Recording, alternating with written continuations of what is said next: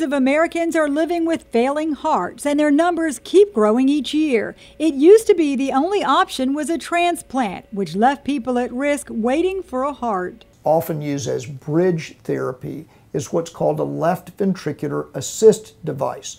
You've heard about heart transplants and you've heard perhaps a little bit about artificial hearts. There are a number of types of devices that are not actually artificial hearts, but they're external pumps that can improve the pumping function of the heart. The pump that kept Dick Cheney's blood flowing while he waited for a heart transplant has seen a surge in popularity, a trend credited in part to the 71 year old's successful 20 month stretch with the device. Increasingly in the United States, left ventricular assist devices are being used for longer periods of time. In the past, they were used exclusively as a bridge therapy, but nowadays, some people are having them for longer periods of time. The LVAD is a pump. One end hooks up to the left ventricle, the other attaches to the aorta.